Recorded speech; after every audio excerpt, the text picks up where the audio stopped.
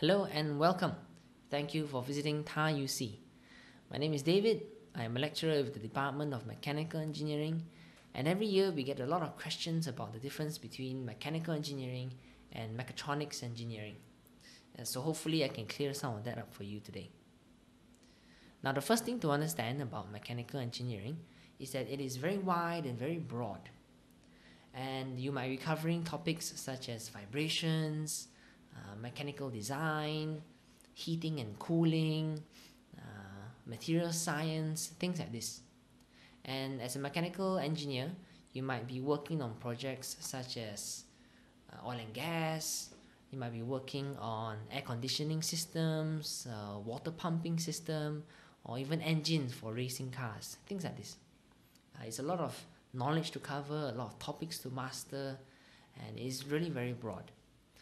Uh, on the other hand, mechatronics engineering is a bit more narrow, a bit more focused.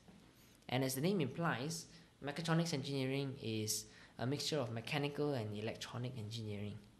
And as a mechatronics engineer, you will be more concerned with automation, uh, industrial control, robotics, telecommunications, things like that.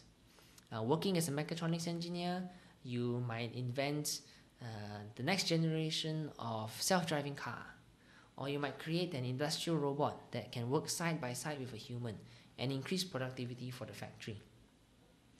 Now, whichever discipline you choose, what's important to remember is that engineering is a transferable skill.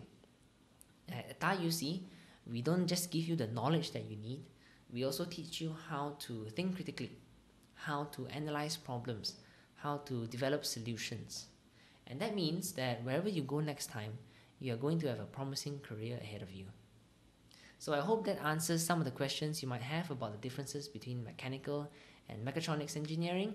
I will see you when the semester starts.